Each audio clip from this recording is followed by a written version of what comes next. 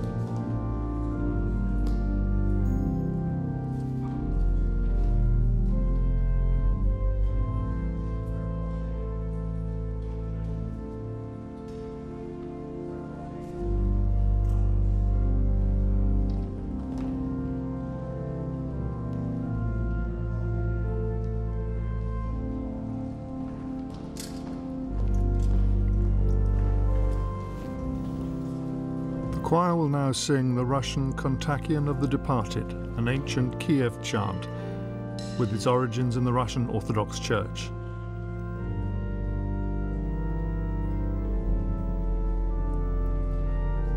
It was sung at Prince Philip's funeral by just four members of the choir standing in the nave of a near empty chapel during the pandemic. This time the whole choir will sing.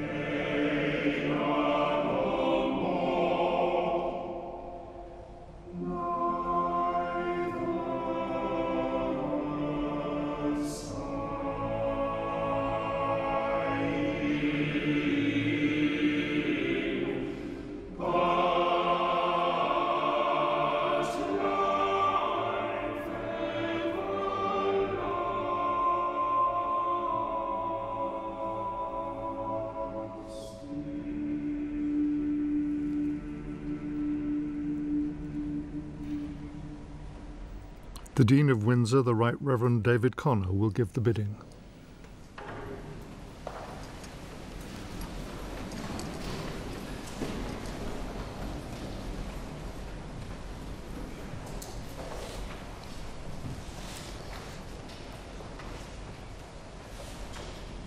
we have come together to commit into the hands of God the soul of his servant Queen Elizabeth.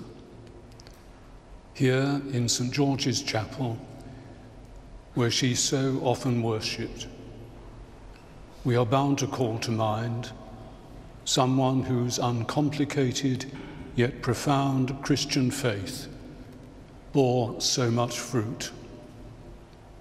Fruit in a life of unstinting service to the nation, the Commonwealth, and the wider world, but also, and especially to be remembered in this place, in kindness, concern, and reassuring care for her family and friends and neighbours.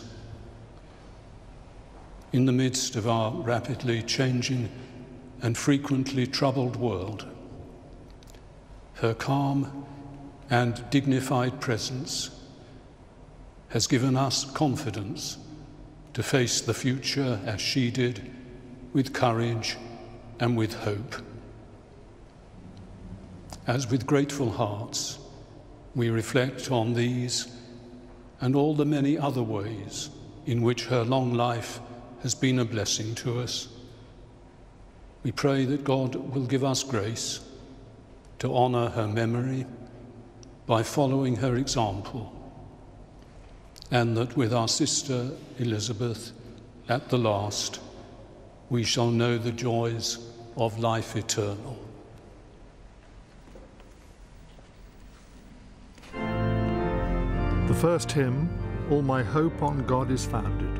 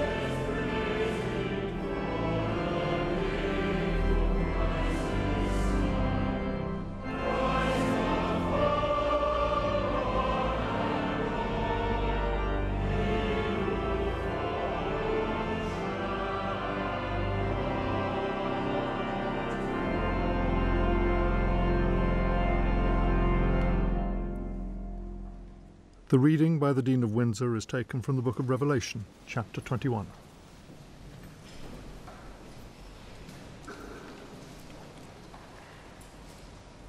I saw a new heaven and a new earth. For the first heaven and the first earth were passed away, and there was no more sea. And I, John, saw the holy city, New Jerusalem coming down from God out of heaven, prepared as a bride adorned for her husband. And I heard a great voice out of heaven saying, Behold, the tabernacle of God is with men, and he will dwell with them, and they shall be his people. And God himself shall be with them and be their God and God shall wipe away all tears from their eyes. And there shall be no more death, neither sorrow nor crying, neither shall there be any more pain. For the former things are passed away. And he that sat upon the throne said, Behold, I make all things new. And he said to me, Write, for these words are true and faithful. And he said unto me, It is done. I am Alpha and Omega, the beginning and the end. I will give unto him that is athirst of the fountain of the water of life freely. He that overcometh shall inherit all things and I will be his God, and he shall be my son. The prayers will be led by the minister of Crathie Kirk near Balmoral, the chaplain of the Chapel Royal, Windsor Great Park, and first by the rector of Sandringham. Remember, O Lord, thy servant Elizabeth, who has gone before us with the sign of faith, and now rests in sleep according to thy promises, grant unto her and to all who repose in Christ refreshment, light, and peace through the same Jesus Christ our Lord. Amen. Merciful Father and Lord of all life, we praise Thee that Thou hast made us in Thine image and that we reflect thy truth and light. We give special thanks for the life of thy daughter Elizabeth, for the mercy she received from thee, and for the example that through her life of service, love, and faith, she has set before our eyes. Above all, we rejoice at thy gracious promise to all thy servants, living and departed, that we shall rise again at the coming of our Saviour Jesus Christ. We pray that in due time we may share with our sister that clearer vision when we shall see thy face in the same Jesus Christ our Lord. Amen. O Father of all, we pray to thee for those whom we love but see no longer. Grant them peace. Let light perpetual shine upon them. And in thy loving wisdom and almighty power, work in them the good purposes of thy perfect will. Through Jesus Christ our Lord. Amen. O Lord, support us all the day long of this troublous life, until the shades lengthen and the evening comes. The busy world is hushed, and the fever of life is over, and our work is done. Then, Lord, in thy mercy, grant us safe lodging, a holy rest, and peace at the last through Jesus Christ our Lord. Amen. Lord God Almighty, King of creation, bless our King and all members of the royal family. May godliness be their guidance, may sanctity be their strength, may peace on earth be the fruit of their labours, and their joy in heaven thine eternal gift, through Jesus Christ our Lord. Amen. God save our gracious sovereign and all the companions living and departed of the most honourable and noble order of the Garter. Amen. As our Saviour has taught us, so we pray. Our Father, which art in heaven, hallowed be thy name. Thy kingdom come, thy will be done, in earth as it is in heaven. Give us this day our daily bread, and forgive us our trespasses as we forgive them that trespass against us. And lead us not into temptation, but deliver us from evil. For thine is the kingdom, the power, and the glory, for ever and ever. Amen. The choir of St George's Chapel sing the motet, Bring us, O Lord God, at our last awakening into the house and gate of heaven. The words of the poet John Donne.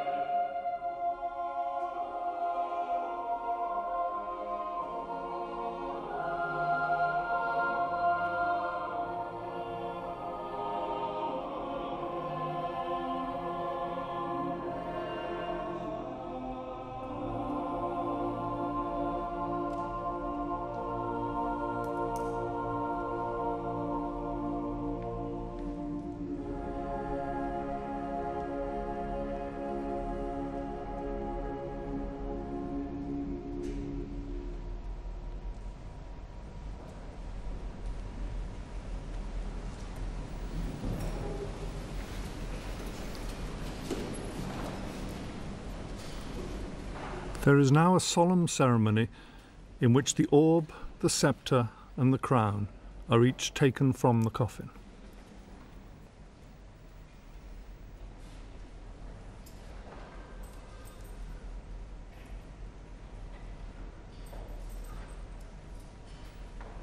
The sceptre is the monarch's symbol of earthly power. In Shakespeare's words, it shows the force of temporal power, the attribute awe and majesty wherein doth sit the fear and dread of kings.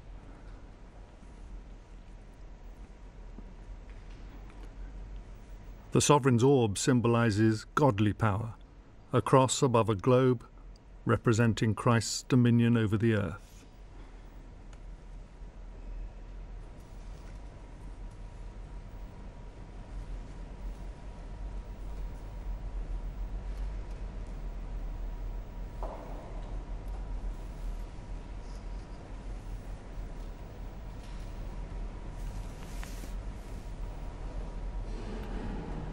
the imperial state crown.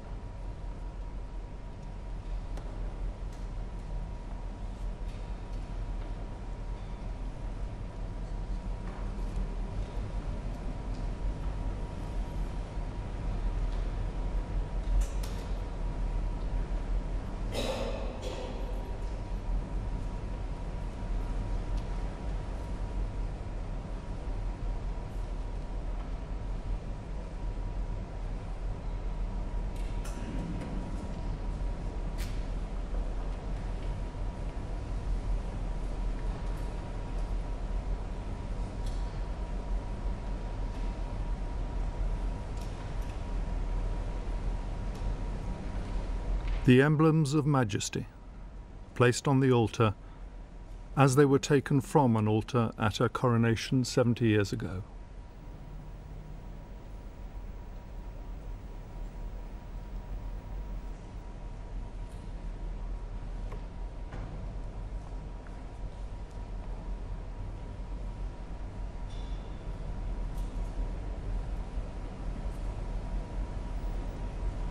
Thus is a sovereign's power symbolically relinquished and passed to her successor.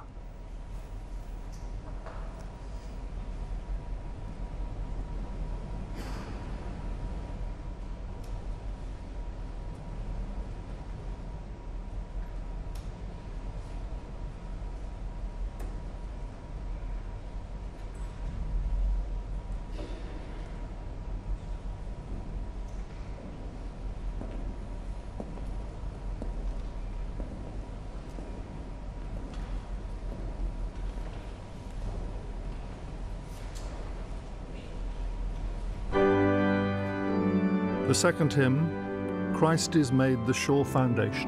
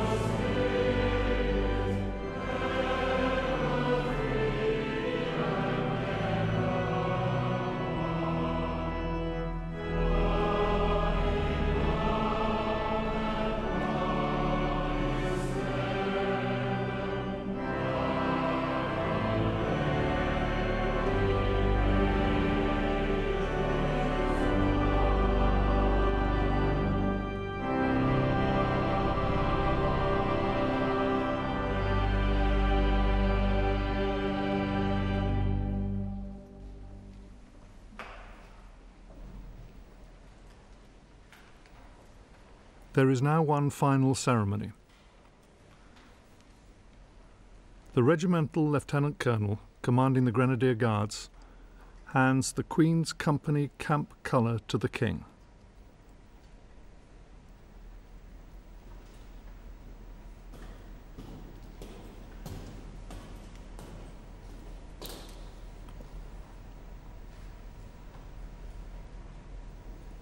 He will place it on his mother's coffin.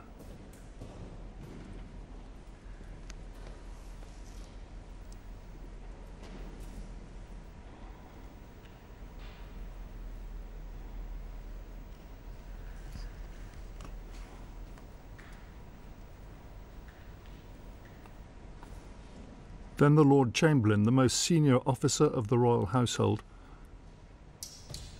breaks his wand of office in two and places that also onto the coffin. The symbolic end of his service to Queen Elizabeth.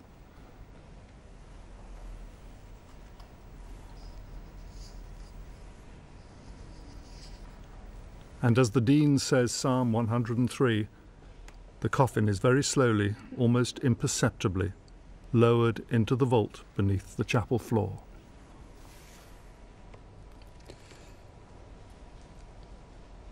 Like as a father pitieth his own children, even so is the Lord merciful unto them that fear him. For he knoweth whereof we are made, he remembereth that we are but dust. The days of man are but as grass, for he flourisheth as a flower of the field. For as soon as the wind goeth over it, it is gone, and the place thereof shall know it no more. But the merciful goodness of the Lord endureth for ever and ever upon them that fear him, and his righteousness upon children's children.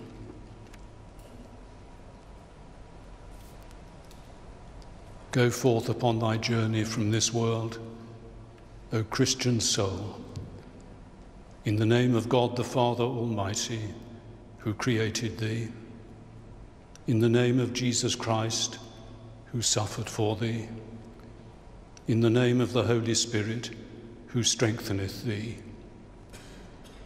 in communion with the blessed saints, and aided by angels and archangels and all the armies of the heavenly host.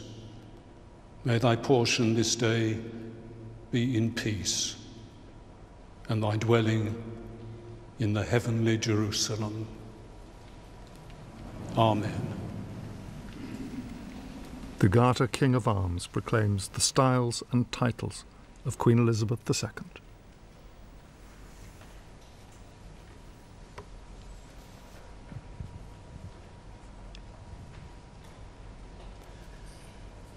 Thus it hath pleased Almighty God to take out of this transitory life unto his divine mercy the late, most high, most mighty, and most excellent monarch, Elizabeth II. By the grace of God, of the United Kingdom of Great Britain and Northern Ireland, and of her other realms and territories, Queen, Head of the Commonwealth, Defender of the Faith, and Sovereign of the most noble Order of the Garter.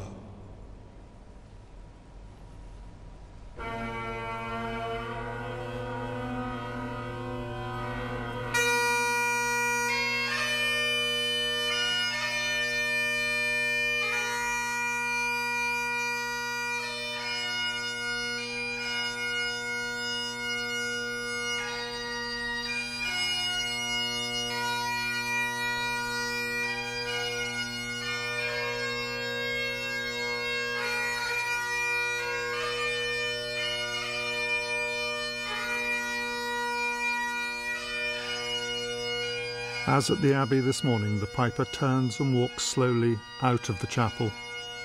To those still inside, his lament fades to silence.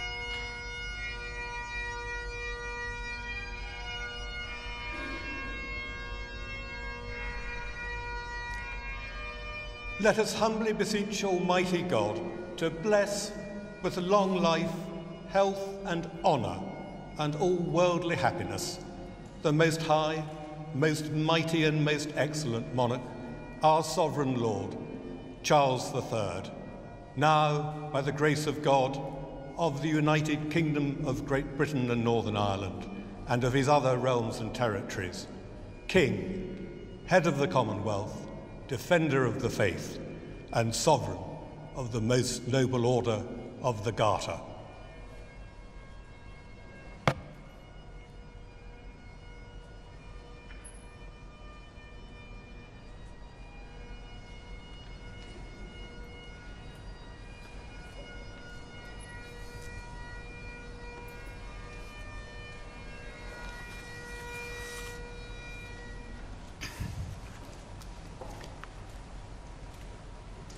Go forth into the world in peace.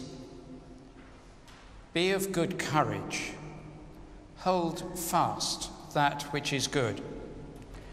Render to no one evil for evil. Strengthen the faint hearted. Support the weak. Help the afflicted. Honor all people. Love and serve the Lord rejoicing in the power of the Holy Spirit.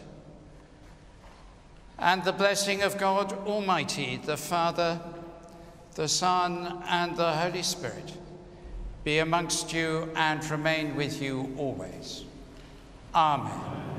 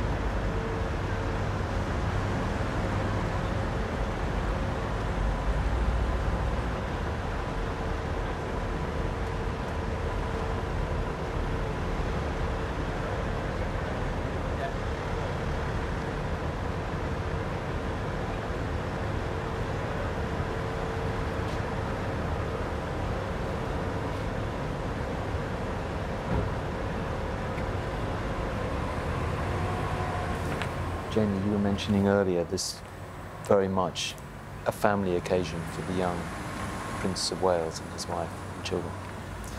Absolutely. I mean, I'd love to just sort of highlight how marvellously well Prince George and Princess Charlotte have, have done today.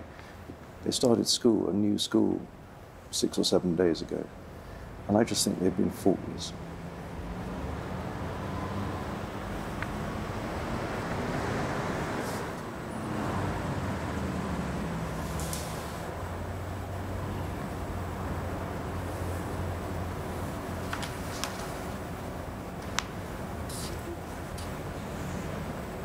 Well, even after a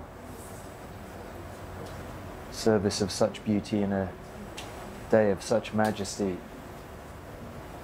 may still be hard for many to accept that this really is the end of such a remarkable chapter in our national life, perhaps very hard for members of the family to accept too, and some solace perhaps in the knowledge that Her late Majesty is profoundly sustained by her faith. Canon Lucy Winkett has been watching the committal service with us, and in those last moments, even those words of reassurance and tenderness from the clergy matter. But it is a profound moment that people can feel bereft, but within the heart of the Christian faith is the deepest blessing. I thought the service was dignified and sombre and simple, actually. We didn't have trumpet fanfares at this service. It was, it was immensely personal and dignified. But as the orb and sceptre and crown were removed from the coffin, they were placed on the altar. The next time we will see those is at the altar at Westminster Abbey when they're given to the new king. And we were told at the end that the fever of life is over, the busy world is hushed, and the Queen's work is done. But then in the blessing, all of us were encouraged to be of good courage and hold fast to that which is good. And so it, it really was, a, I suppose, a hinge moment at the end of, of what must have been an exhausting day for everybody taking part, um, but a very peaceful end to, to, a, to a busy day. Was that moment to recall the new king's address, a promise with destiny kept? It had a stillness to it at its heart. I think that this this service was a uh, it was clearly committal following the funeral service, but it was it did have that element of simplicity about it and and the family very much at the heart of it. Yes.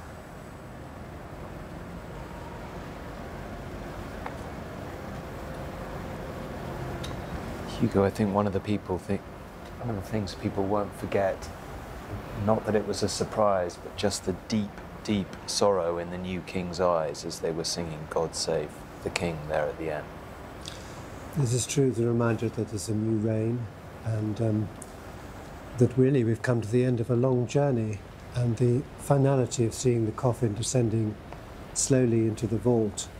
Know, after we followed it all these last days through its magnificent progress through Scotland and England, and in a way back home, I like to think, because Windsor was such a special place for the Queen.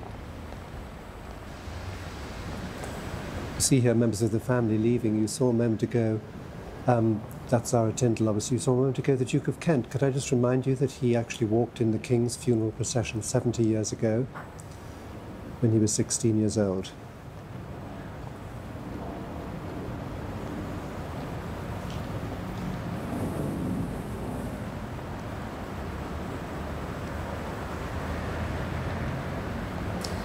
Jamie, as we just look at these pictures and are reminded of the, the children who've witnessed this service, of course, most notably Prince George and Princess Charlotte, there's the work of parents on display here to explain, to nurture, to guide, to encourage, to support on a day like this. There is. I think, um, I think that Prince and Princess of Wales have obviously, um, obviously see their, their, their family as the absolute sort of central pillar of their, their existence. And quite right too. And, and the way that they have brought Prince George and Prince Louis and Prince Charlotte up has, has really been. That's a little girl who's Yes. been on best behaviour and just needs a bit of breathing out. I think so. I think that's right. Um, but in short, they realise how, how important family family is actually as, as part of their, their duty as parents.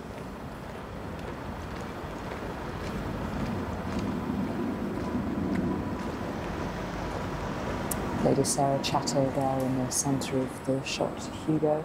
And the Earl of Snowdon, who is probably better known to us as David Linley. Lady Sarah very close to the Queen.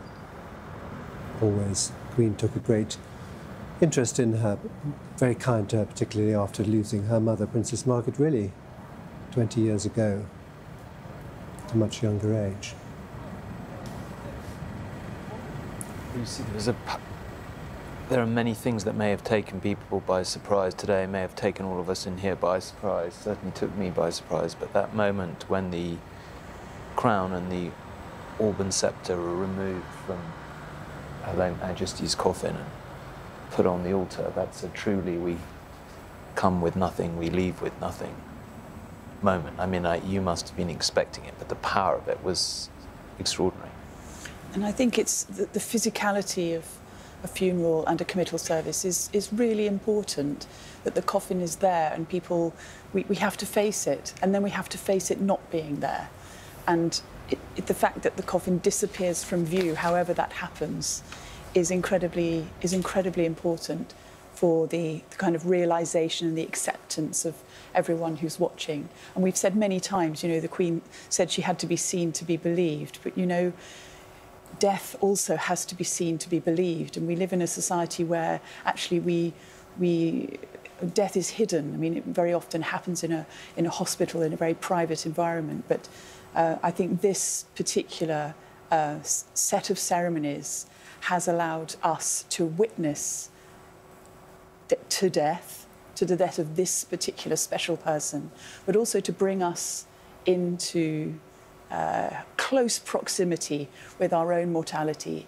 And the Russian Kontakion for the Dead, which was sung at that service, absolutely uh, faces us with that. You know, we are dust, and to dust we shall return. And it's something that is it's absolutely something that will happen to all of us, but we spend nearly all of our lives pretending that it won't.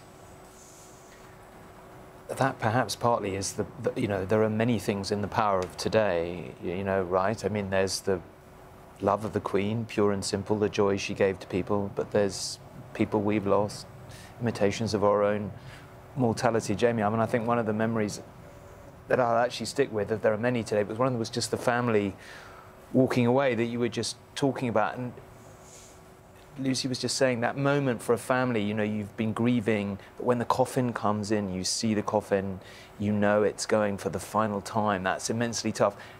So I'm, I guess the point is we shouldn't underestimate the impact on the family of this. This has been a very tough day and in public. That's right. However, the other side of this is, is the example that, that the Queen has set for generations to come, including the younger generation of the royal family, or the youngest generation of the royal family. And in that way, uh, it may seem that Prince George and Prince, Princess Charlotte were very young to be in attendance today. But in a way, it's an affirmation of, of, of how the Queen has lived her life, that they should be witnessing um, this sort of closing of a chapter. But as we said before, the sort of comet trail of what the Queen leaves behind is really invested in them. And it was, I think, wonderful and appropriate that they were there today because it just transcends the generations. It's a beautiful image, the comet tail. That will stretch all the way to the family chapel. Later this evening, Hugo, we know that she has been reunited in death with her beloved Prince Philip. And later this evening, behind all closed doors, away from public gaze, laid to rest in the family chapel here at St George's.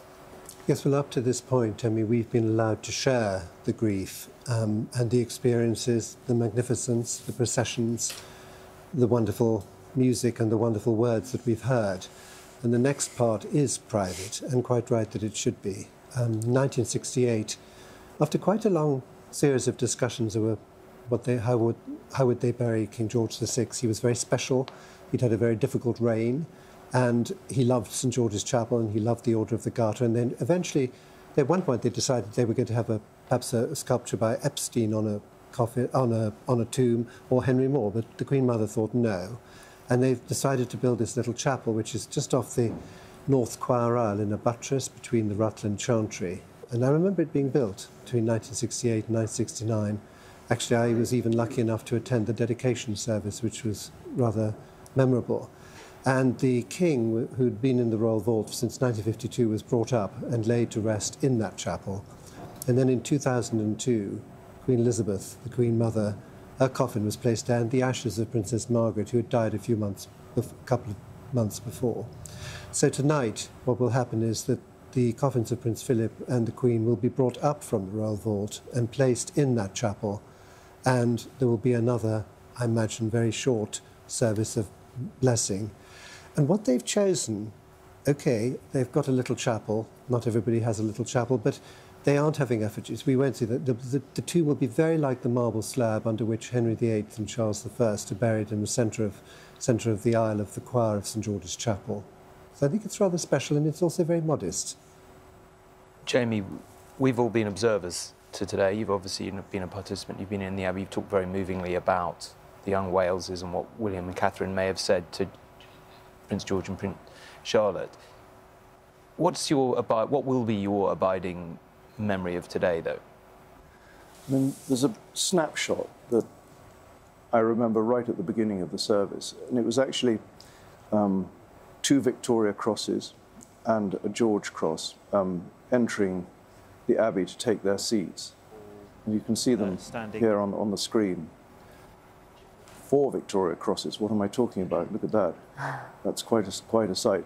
But what, what struck me with that was, the, was that instantaneous sort of link between people who have given supreme service and in, in terms of valor and gallantry but also that there's that indissoluble bridge that occurred to me that they were honoring somebody who had also given supreme service uh, in a different way, but in a no lesser way in some ways.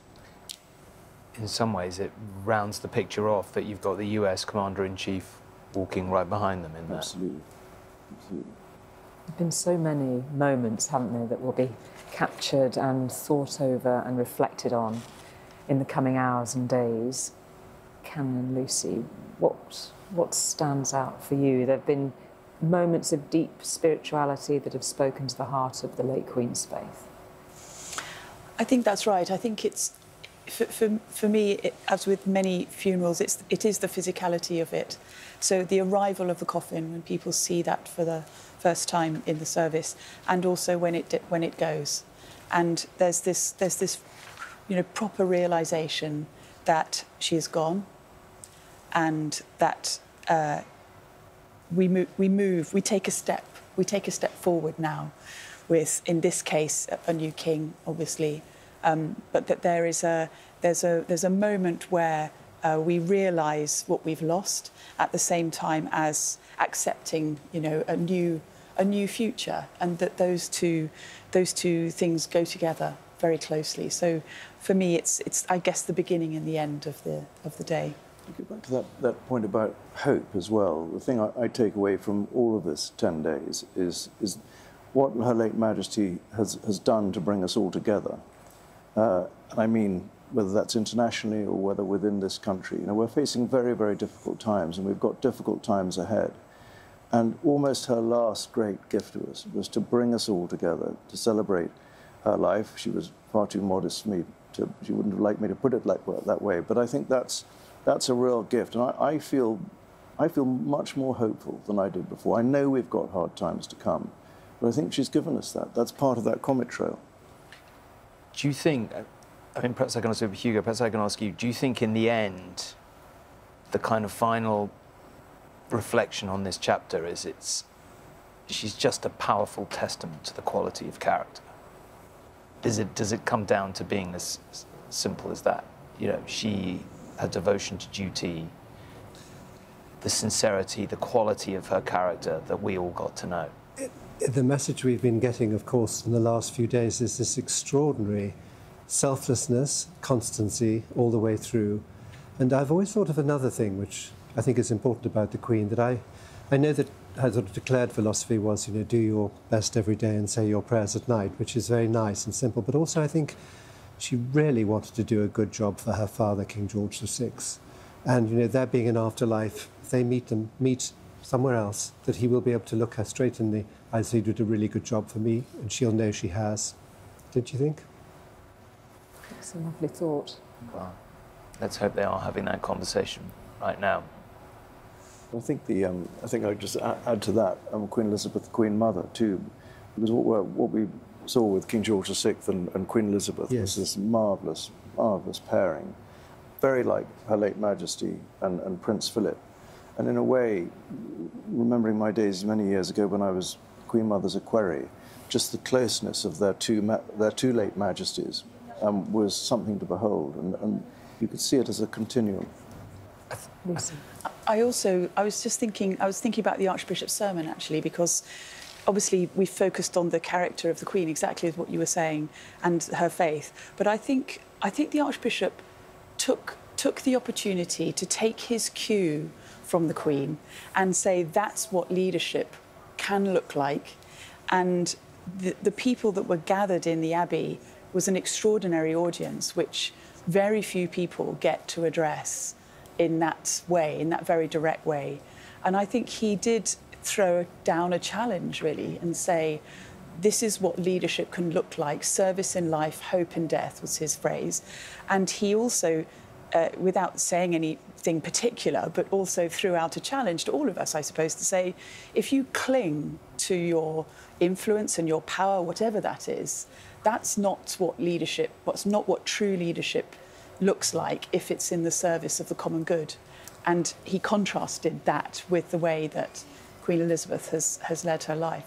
That was a, an opportunity grasped, I thought, at that moment. I, I thought the other thing that really struck me about today, again, not particularly surprising, but just when we moved away from the Mall and all those people, and they didn't quite, it seemed to me, didn't quite know what to do. They wanted, you know, they wanted to show their respects, but it's just that slight bubbling up of joy. And that's, I guess, the other point that, of course, this has been a very solemn and sad and extremely beautifully wrought occasion. But she did bring a great deal of joy to a great many people. I mean, if you, if you, if you write one legacy, I mean, Jamie, you saw her over many years. Yes, absolutely. And I think, I think there was a feeling. Certainly, I had a feeling um, watching those pictures and actually watching the, the um, Her Majesty's coffin in the Abbey.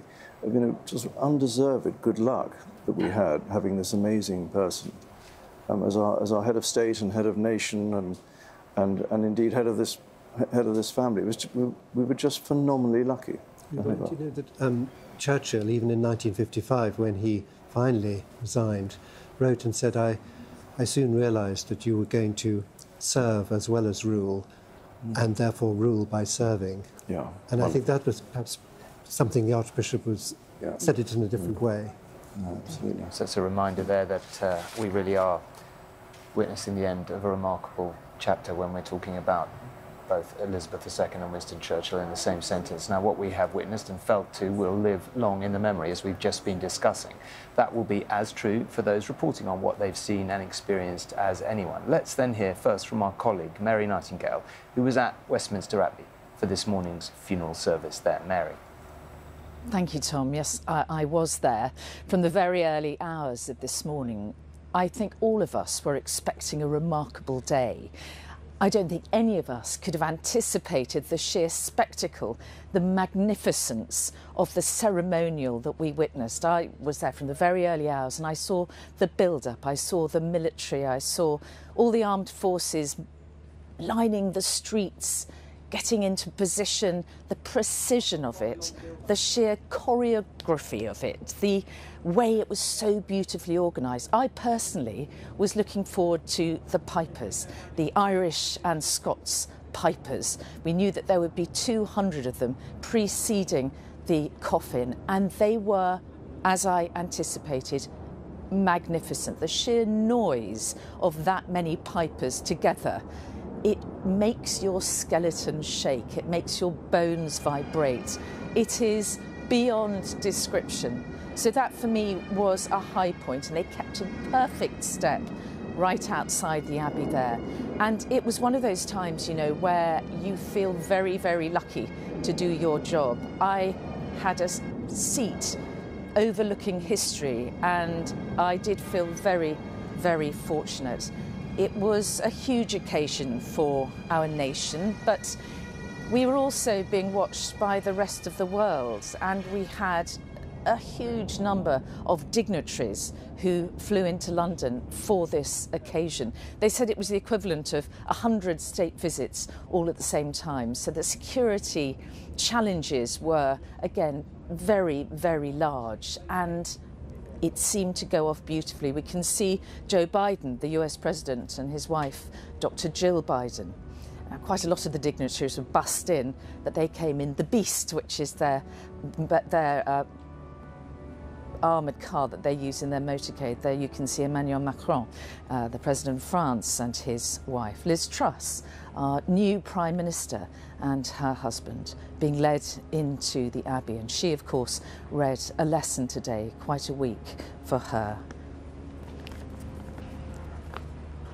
Mr Trudeau there, you can see very many dignitaries were in London today, and I think London did them proud. It was a remarkable, remarkable spectacle that they were there to see. Now, I remember the Queen once saying, Her late Majesty the Queen, saying that you can do anything if you're properly trained. She said, This job is all down to training, and I think we saw the most wonderful demonstration of that today with Prince George and Princess Charlotte, aged nine and seven respectively. Now, they behaved in a way, I think, way beyond their years, walking behind the coffin of their grandmother and their great grandmother, I should say, and not putting a step wrong behind their parents, or in front of their parents, I should say. They were behind the Earl of Wessex there. But they behaved absolutely beautifully. And I think anyone, any parents of nine and seven year olds would have been astonished to think that theirs could behave quite so well. It must have been a very long day for them, but they sat through it. They clearly treasured being part of it, and they seemed to drink in every single moment. Magnificent aerial view of the Abbey there. The nave stretching from west to east, and the coffin in the middle the cross of the Abbey that you can see. It was um, an extraordinary day. I'll never forget it. And I don't think anyone who is watching today will do either. Mary, thank you. Well, once the state funeral ended, the Queen's final journey to Windsor began, of course, while royal editor Chris Ship has witnessed the procession as the cortege passed Buckingham Palace and saw the tens of thousands of people who turned out to say a final goodbye. Your reflection on what you've witnessed, Chris? Well, Julie, I've witnessed over the last 10 or 11 days a number of the different elements of this Queen's final journey. If you remember, King Charles said on the uh, in that address that he gave on the day after his mother's death, he called it the last great journey. Uh, and two of those uh, elements were today. I was standing at the, the bottom of the Mall at the Queen Victoria uh, Memorial. It's difficult to explain the length of that procession that escorted the Queen out of her capital city for the final time. From the very start of it, where you had the uh, mounted police from the Metropolitan Police, and then you had the Canadian Mounties, the Royal Mounted Police, uh, all the way from Canada. Uh, all the way to the end. It, it, you know, it stretched for a good 40 minutes or so, and um, it was slow, it was methodical, it was somber. But I noticed a, a difference with, with, the crowd today because I stood at the, a very similar spot when the Queen's uh, coffin went to the lying in state, and there was lots of cheering, there was lots of clapping. I think people really did feel today an element of finality. This was uh, a final goodbye. And for me, uh, I think when the coffin uh, with the King and his siblings and uh, the Queen's grandchildren behind, when it went past Buckingham Palace for the very final time, remember we're talking here about her home, her office, uh, the place she spent so much of her time over the last uh, 70 years. Uh, it went past uh, Buckingham Palace again very slowly uh, for the final time today, and that really struck me as quite uh, a moment. I think we're used to a nation of seeing the Queen there, standing on that very balcony in the centre of the screen, a moment of national celebration, trooping the colour. Most recently, I remember being at that very spot for the Jubilee celebrations. How very different it all felt today. The reason why these crowds were uh, in London. And I suppose we should also remark just before we see the, the gun carriage there go up Constitution Hill and past Buckingham Palace for the very final time. Uh, we should remark on that journey the state hearse took from Wellington, Wellington Arch to Windsor.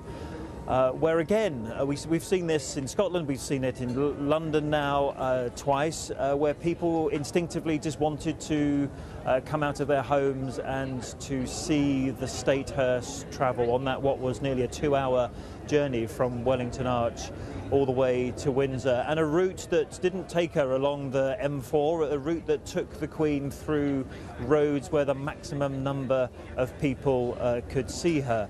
And I was struck by the moment it arrived in Windsor and there were flowers that had ended up on the windscreen, on the roof, on the bonnet of that state hearse. Remember, this is a hearse that the Queen herself uh, took some uh, interest in the design. She wanted people to be able to see her in death as they saw her uh, in life. And that procession there, look at the long walk, look at the number of people. When I arrived in Windsor uh, this evening, Tom and Julie, uh, they were announcing over the loudspeakers that the long walk was closed. They simply couldn't get any more people uh, on it. So, um, you know, this was the final journey all the way from there to that service. We've just been watching the committal service in St George's Chapel. Okay, Chris, thank you very much indeed. Well, as Chris was just saying, some of the most beautiful, some of the most arresting uh, images of the day, certainly some of the most majestic, uh, was that procession making its way along the long walk in the midst of those crowds. And Nina uh, is there waiting with some of the people.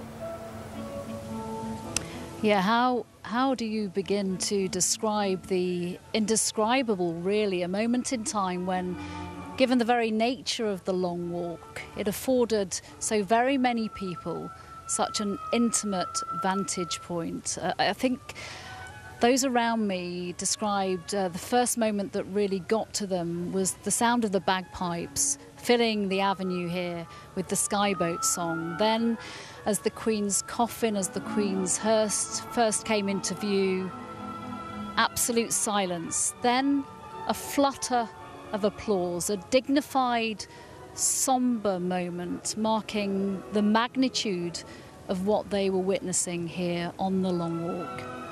Some people arrived here yesterday afternoon and stayed through the night to, to get the, the point closest to the castle to, to see the funeral procession pass through the gates. I'm joined now by some of them. One is the uh, artist Charles Minty. Charles, you painted through the night and then you paused as the funeral procession went through. Were you surprised by your reaction? Um, yes. Well, I uh, felt very emotional during the church service with the beautiful singing. Um, but actually, when the Queen went past, I thought the services did a tremendous job. And uh, I think Her Majesty would have been really proud, especially of the horses, which seemed to uh, cope with the crowds really well. So, so I thought it was a great job, and uh, yeah, really proud of, of everybody that came here today and everyone that, that's conducted the ceremony. It was a fantastic occasion. You were named by your parents after King Charles III. Well, yes, I was born on the day that uh, Charles and Diana were married, uh, which was 29th of July 81, um, which makes me 41. And um, yeah, so, so he's my namesake. Uh, I'm named after King Charles, uh, which is a, a great thing.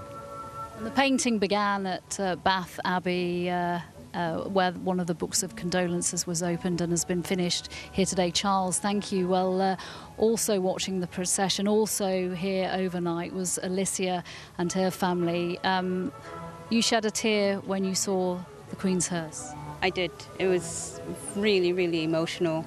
Um, I just felt flooded by the grandeur of it all, and I got choked up, and I didn't expect to get choked up at all, but it was just so regal and royal in every sense of the word, and I was happy that I got to experience it with my son and my husband. So, Akio, you wanted to be here. Are you glad you came? Yes, I am. And when uh, when the when I saw the Queen, I was surprised she died very quickly when I didn't expect it. And I and and when I was upstairs going to bed, I shed a little tear. Oh, Akio, and, and Father Leon, you're from France. What what did our Queen mean to you? Her Majesty, the Queen Elizabeth, represented uh, stability, and uh, she was a great ambassador for the United Kingdom across the world. Uh, may she rest in perfect peace.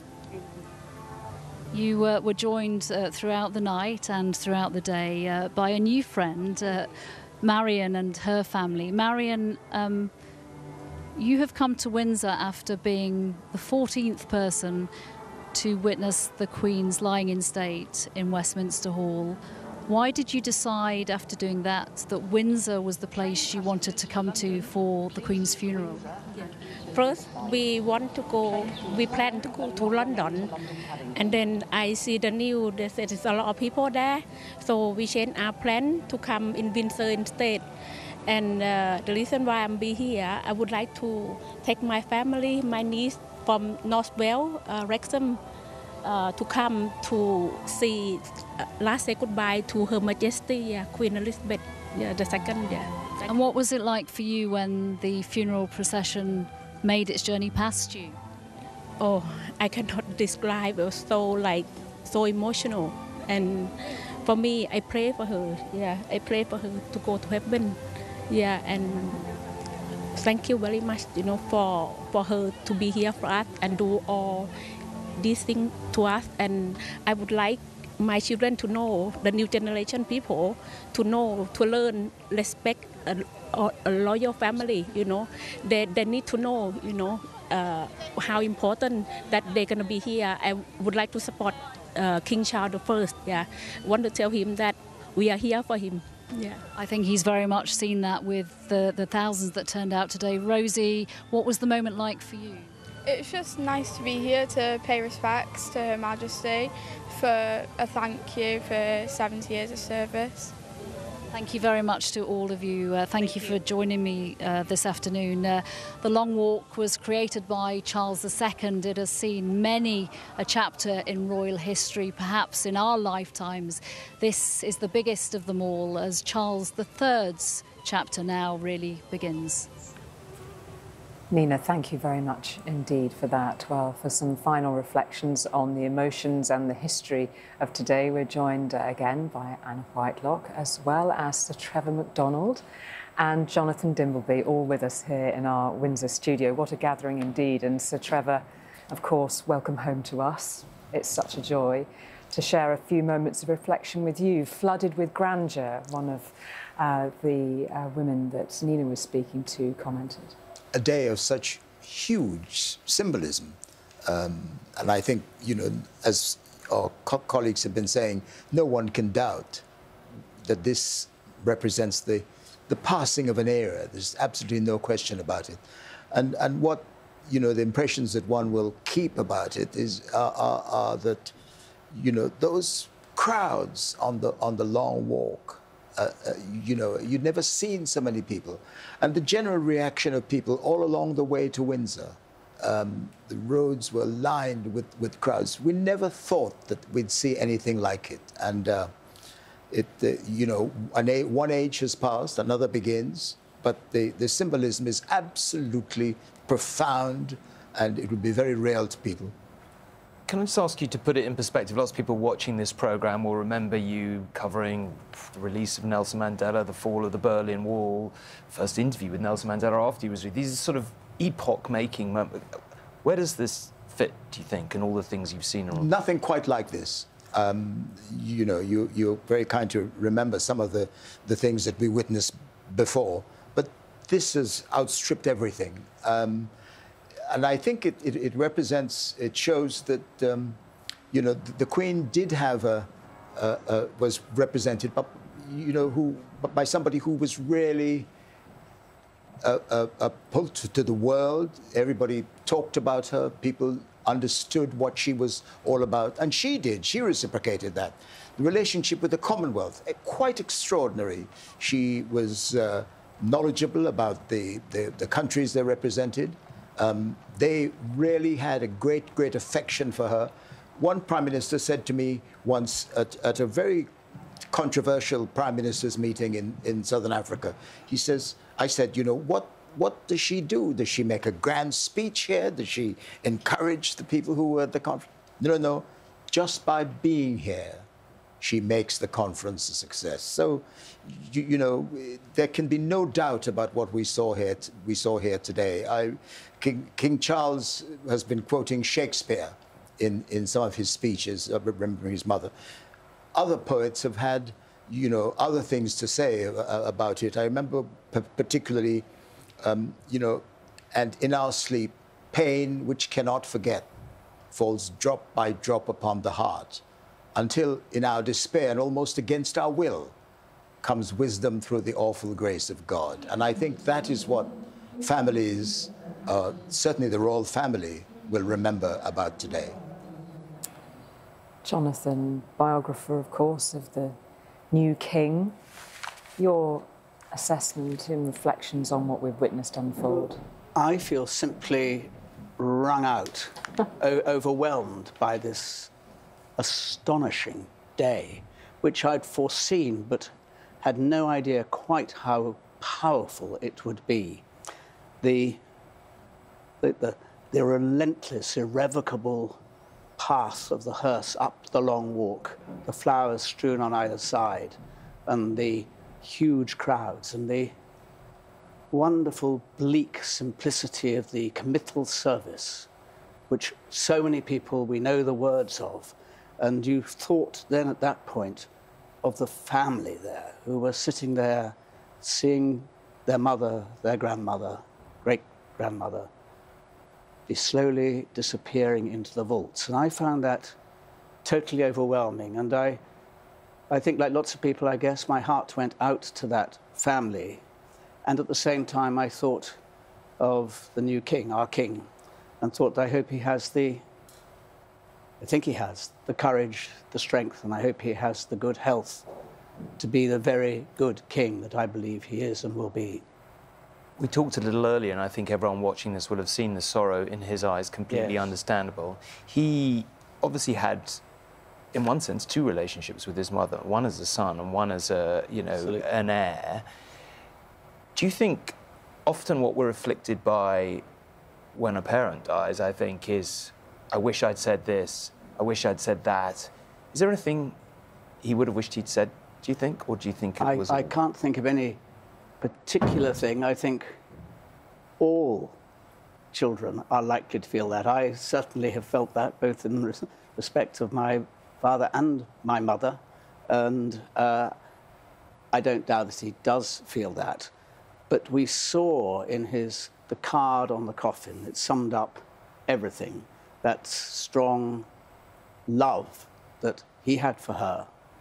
It was it was difficult when they were young. She was away a great deal. It was his grandmother who he turned to for support.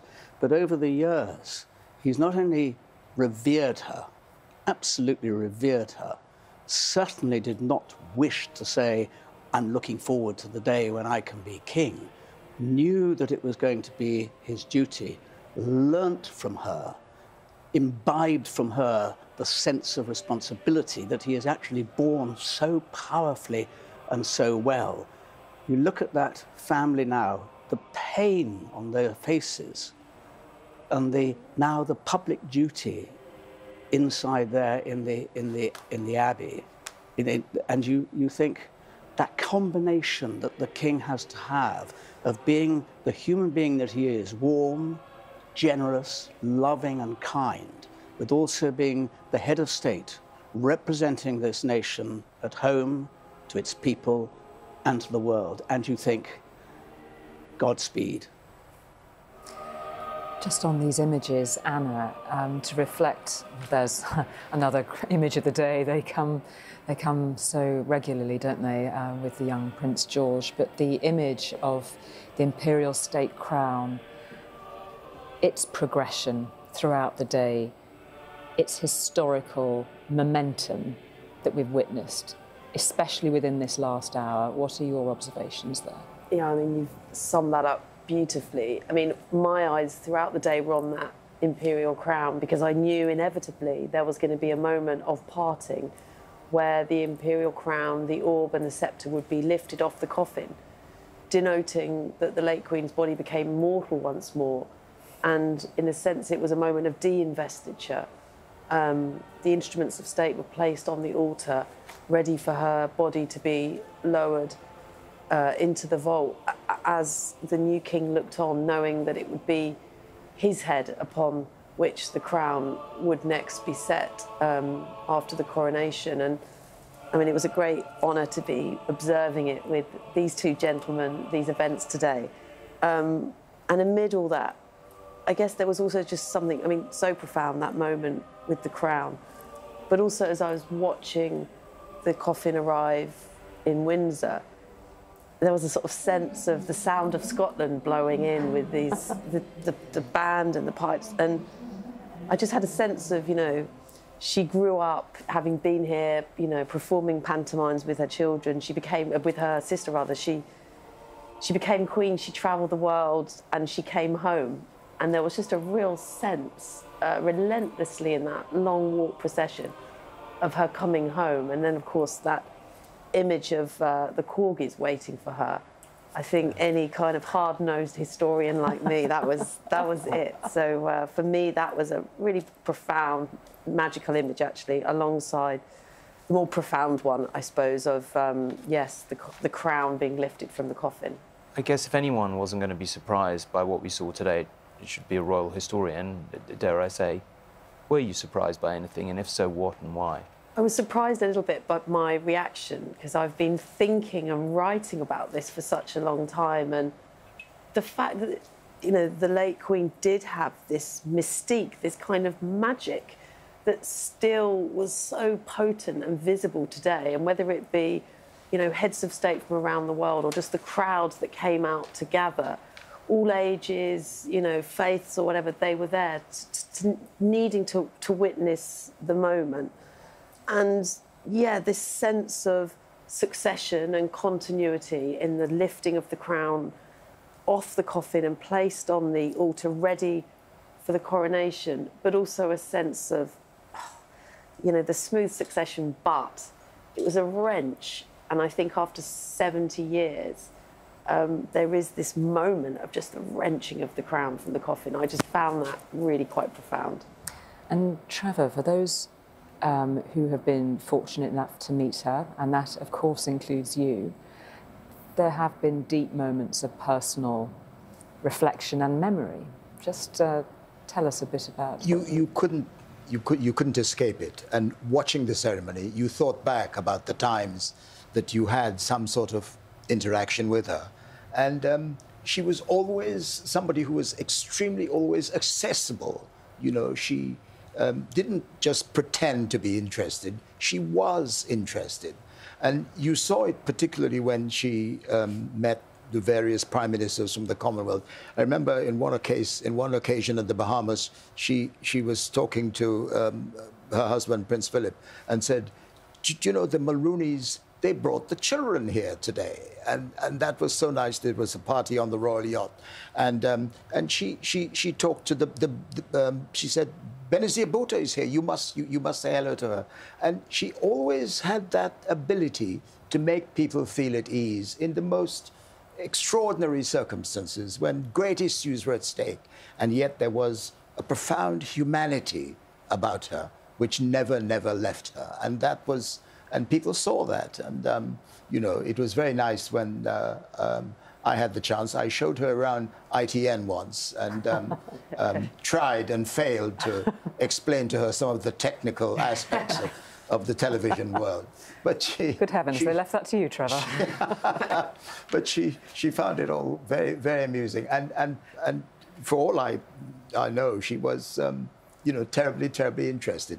One always got that feeling about, about being in the company of Her Majesty. And um, I agree with something that Jonathan said. You know, we would never, ever forget today that image of the coffin being lowered into the vault. And we, represent, we remembered then that there were two ceremonies here one for the nation and the world, but one also for the family. And uh, the grief was quite marked on their faces. And, uh, you know, those two things, the huge symbolism of it all, made this quite remarkable, quite remarkable day. Jonathan, in one sense, you've spent a lot of time thinking and writing about the impact of this dad. You, you obviously can't write about a man you know is going to be king with, without that being front and centre. Were there things about it, nevertheless, despite all that, that surprised you? And if so, what were they? Not so much surprised, but impressed. I did not know, because I don't follow in detail protocol of a funeral, never have done. And I did know something about what this was going to be, but the sustained demand made on him. Mm. I've seen him being resilient. I've seen him in bad times, personal times. I've seen him in good times. I've seen him in public roles. I've seen him one to one. I've seen him in a great many places from a long time ago, as you can see. And, the, the, the, and, and I learnt to have an enormous respect for him, and I acquired a deep affection for him. And I knew this would be very, very testing. You come out of a situation which you never wanted, the death of your mother, you acquire immense responsibility. Of course, he'd had practice for it because he was doing more and more of her public duties in the, in the final years. And he'd also made a huge number of his own visits abroad. As we know, he has very strong views on a number of issues which happen to be views that are now overwhelmingly shared by the great majority of people here and around the world. But that doesn't, I think, equip you for the moment that you have to be the king. And he's thought about it very carefully. He knows what it requires him to do. But I thought that he carried it through so brilliantly, so difficult to be the head of the family grieving for his beloved mother and at the same time representing this country already to the world. So, Trevor, I mean, whether we like it or not, and we've talked about it quite a lot today, this is the closing of a chapter. It's kind of remarkable how, even though we've had 10 days of preparation, it still seems a, a bit of a shock to, to get to the end. I think many people probably feel that. We, we do have a new king. We saw him in St George's Chapel as they sang God Save the King. What do you think he needs to do, if anything, in the next you know, year? I think he needs to continue on the path that, that he's chosen. I mean, he understands that he cannot be as activist as he has been on some issues. Although um, it is very interesting to note that long before certain issues that we talk about today, you know, the future of the planet, the environment, um, he talked about these things long before it became part of the international conversation. So I think we would be very comforted knowing that we have, as a monarch, uh, um, someone who has made these issues part of his own life and he's promoted these issues. And that'll be a, a great, great comfort. And I saw him once um, when we were doing some programs about Prince Charles as he was then. And he said, You know, what people don't understand is that I have a profound love for this country, and I will always do my best. And I think he will. And he's had a long, as we've been talking about, he's had a long apprenticeship. Uh, um, and he, he, he knows what the job is uh, involved. Um, his, his mother, the, the, the Queen, um, was so zealous in her work that she gave him very little to do. But he has observed it all, and um, I think he will make an excellent monarch. And we've discussed journeys endlessly, haven't we, uh, Anna?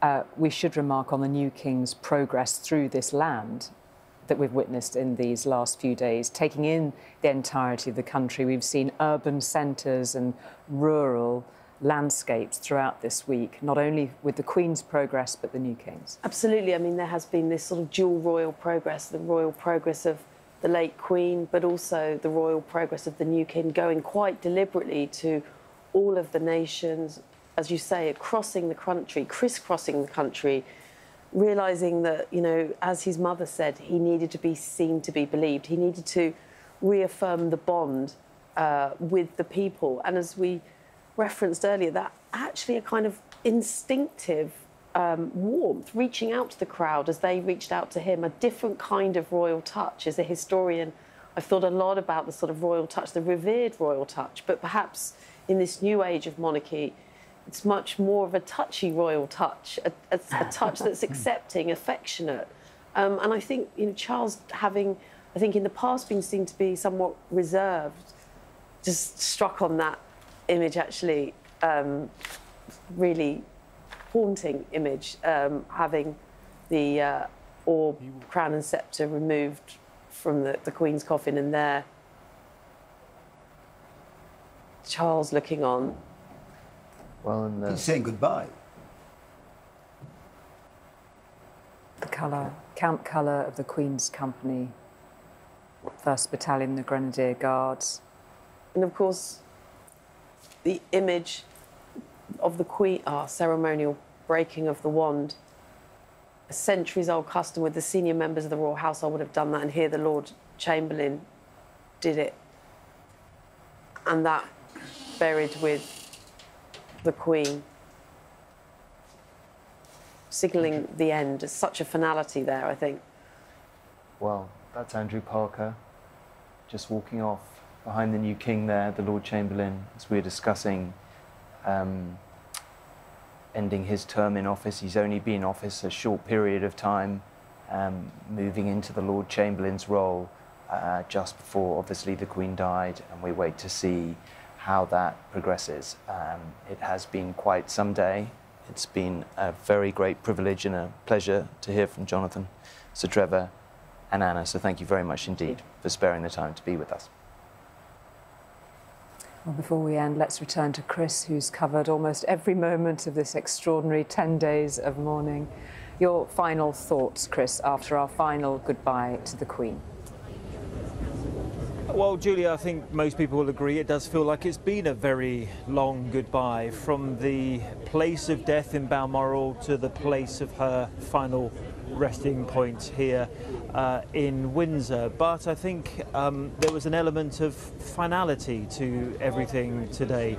But just as there was a reminder of the uh, reality of what happened, I think also we're reminded of the constancy of monarchy. That's what it's designed to do. Uh, the Queen has departed, but we were presented today with an image, of course, of the new king and the two kings who will, of course, uh, follow him.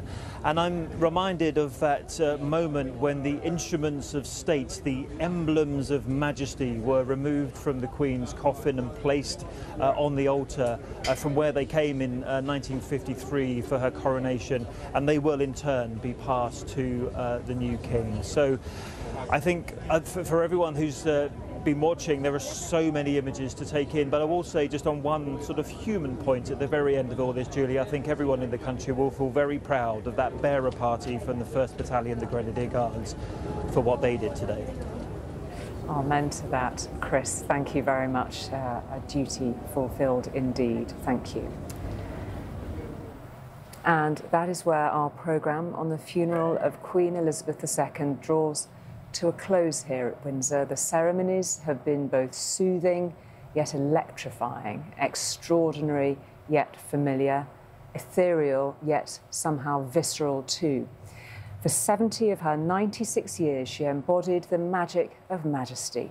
She was the face and figurehead of our country, the Queen of Queens for our time and all time. A life like no other has been mourned these past 12 days. Well, now her coffin and Prince Philip's will be placed together close to both her parents. It was while unveiling a statue to her father, George VI, that Her Majesty the Queen spoke those unusually personal words. He shirked no task, however difficult, and to the end he never faltered in his duty to his people, she could, of course, have been talking about herself. Good evening. Good evening.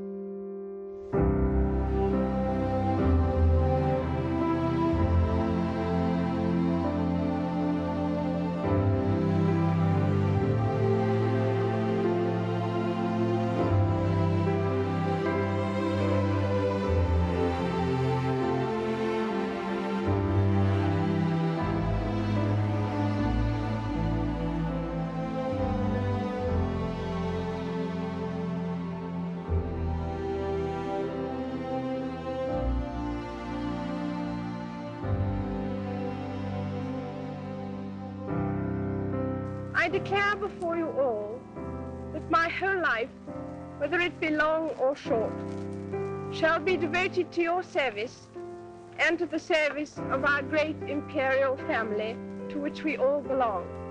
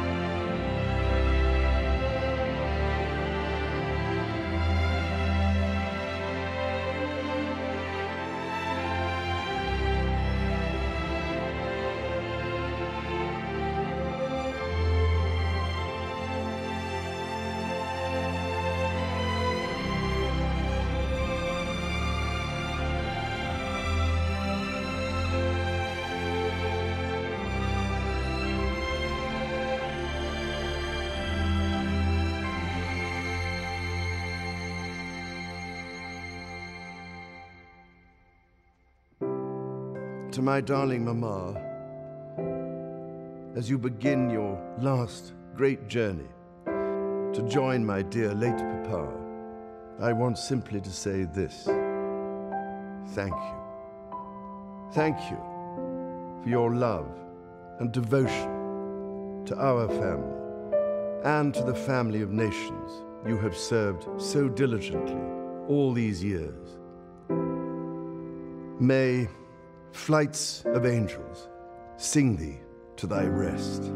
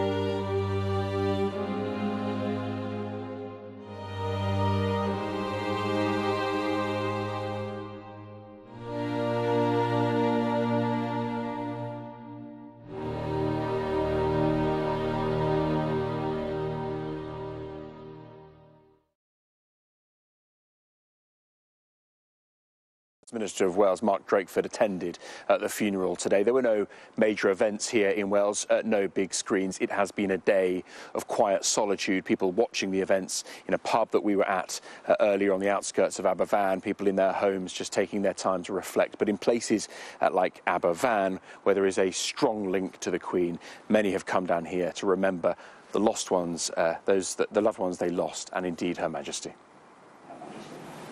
Dan Whitehead, thanks very much. Well, our royal correspondent Laura Bundock is, is still here with us. And, and, Laura, one of the things that struck me about today, after being in Buckingham Palace and seeing the flowers in Green Park and coming down here and seeing the Long Walk again, are the, the flowers around Windsor Castle and the way that they have been arranged and the fact that it carpets around the castle, it skirts the castle, it skirts the Royal Mile. It is a beautiful element of, of, of people being involved in this service, isn't it? I think people, despite being told perhaps don't bring the flowers, wanted to leave something, wanted to leave a message, and we've seen them laid here outside St George's Chapel. And it's quite a sight. They're all laid in the same direction, all neatly, all neatly bunched together. You can see so many sunflowers there as well, and the smell of those flowers hits you too. And we've seen them laid outside Cambridge Gate at the end of the long walk, and indeed all around the edge of the castle this morning. People have been coming and bringing more. It really is quite a sight here. It is lovely, and it's something that certainly is striking when you first come here. Laura, thanks very much. We're going to be hearing more from Laura in a short while, um, but let's just leave you with some of the images that have collected throughout the day here.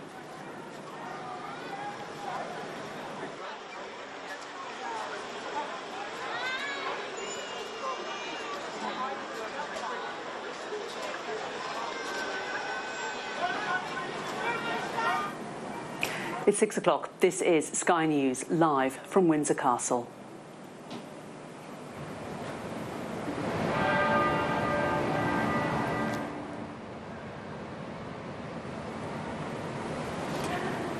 As the nation bids farewell to its longest serving monarch, Queen Elizabeth II.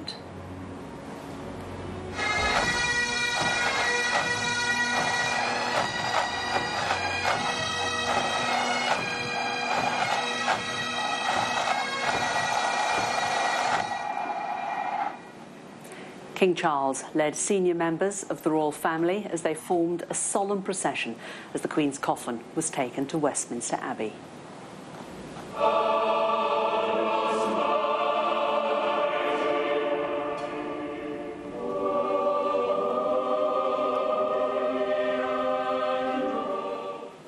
Prince George and Princess Charlotte were the youngest mourners in a congregation full of world leaders.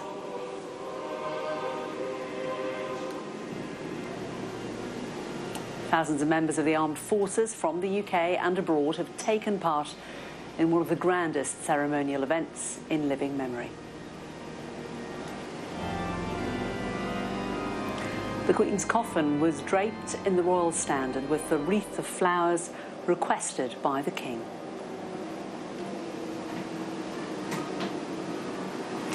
Tens of thousands of mourners lined the procession route from the Abbey to Wellington Arch where the Queen's coffin was driven to Windsor.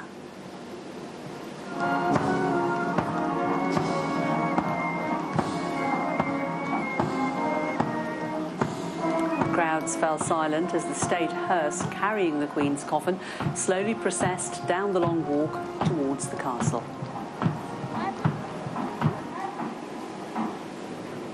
The royal family gathered inside St George's Chapel for a service of committal for the Queen.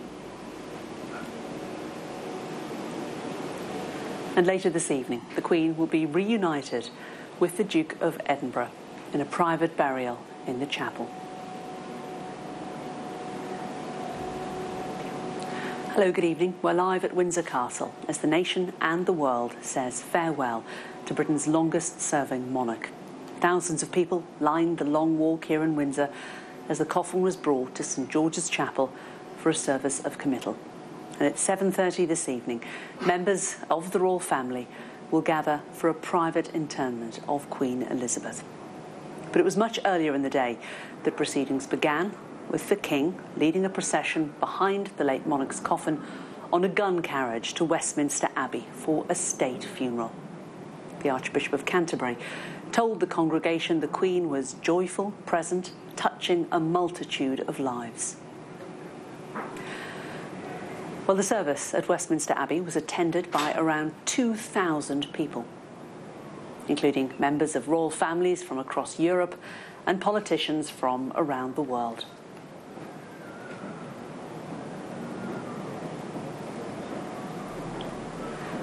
World leaders in attendance included the French President, Emmanuel Macron, alongside his wife, Brigitte.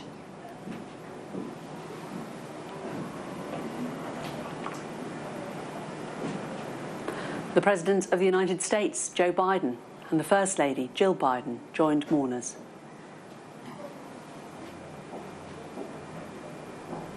The Prime Minister of Canada, Justin Trudeau, was among the Commonwealth leaders in Westminster.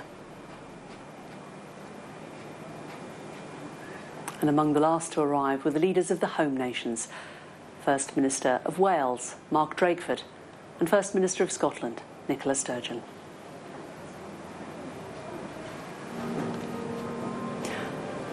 Former Prime Ministers Sir John Major, Tony Blair, Gordon Brown, David Cameron, Theresa May, and Boris Johnson arrived next.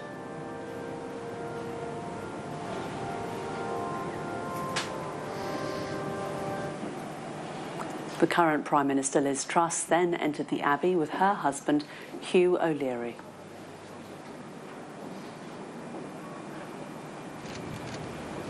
The four senior members of the royal family made their way into Westminster Abbey, led by the Queen Consort Camilla and the Princess of Wales, along with Prince George and Princess Charlotte.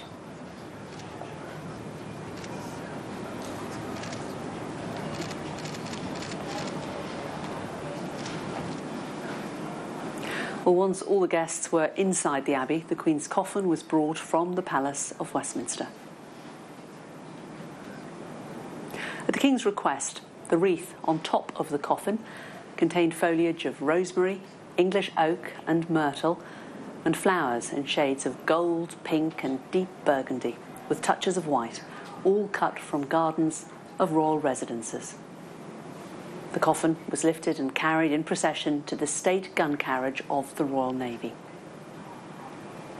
Around 6,000 representatives from all three armed services were involved in the procession, with 98 Royal Navy sailors pulling the 123 year old gun carriage. It followed the traditional set at the funeral of Queen Victoria in 1901.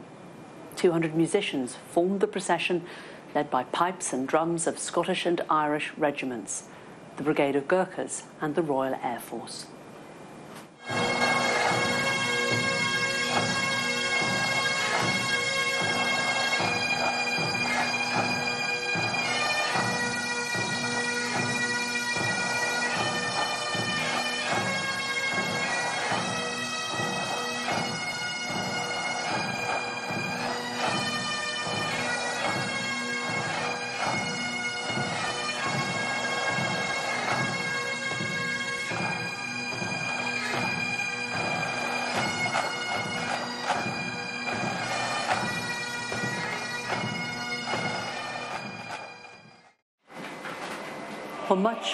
The music was selected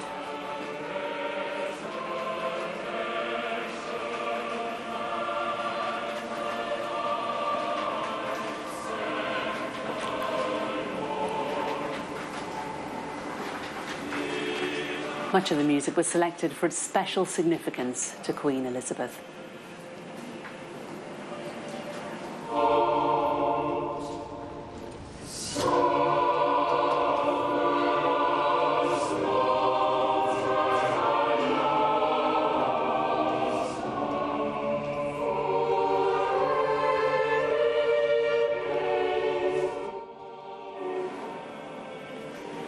At the Abbey, the King and the Queen Consort walked immediately behind the coffin, followed by the Princess Royal and her husband, Vice Admiral Sir Timothy Laurence, the Duke of York, the Earl and Countess of Wessex, and the Prince and Princess of Wales. Prince George and Princess Charlotte walked with their parents, followed by the Duke and Duchess of Sussex and other members of the royal family.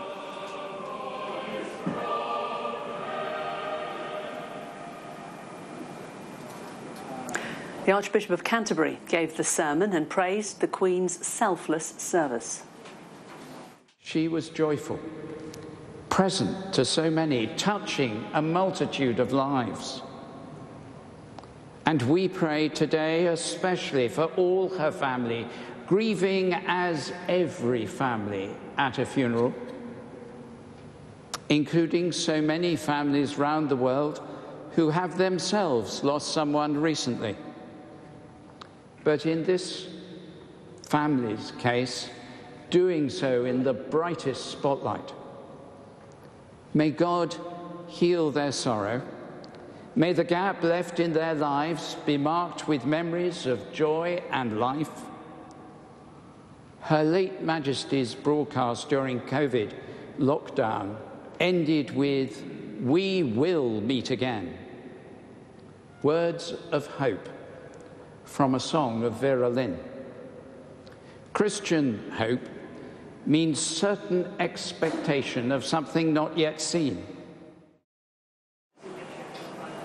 Well, towards the end of the ceremony, the last post was played by the state trumpeters of the Household Cavalry.